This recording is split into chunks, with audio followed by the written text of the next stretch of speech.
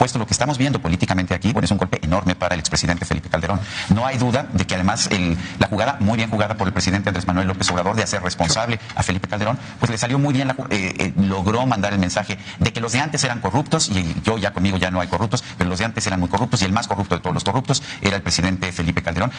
Desde luego.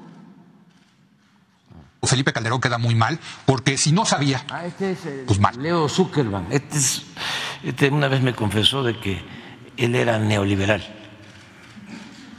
O sea, sí, yo soy neoliberal. Digo, pues está bien, ¿no? este, este, sigue tu camino. Pero, pero él mismo así con, con mucho orgullo.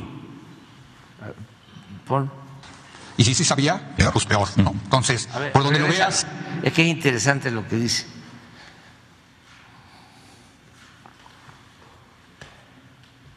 Presidente Felipe Calderón, desde luego Felipe Calderón queda muy mal, porque si no sabía, pues mal.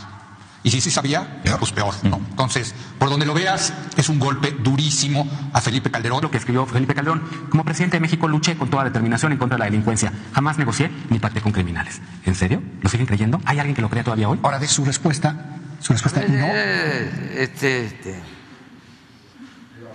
Riva Palacio. Raimundo Riva Palacio. Fíjense lo que dice. Ahora de su respuesta, su respuesta no. Me parece que la respuesta tiene que ver con que lo noqueó el veredicto y que él debía de haber eh, escrito algo explicando, asumiendo la responsabilidad política, pero sí es responsable como jefe del ejecutivo.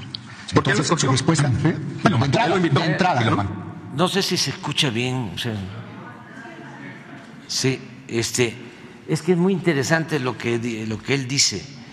Eh, habla de la respuesta de Felipe Calderón y cuestiona este, la forma en que eh, responde Calderón, que eh, le dice, ¿por qué no? Explica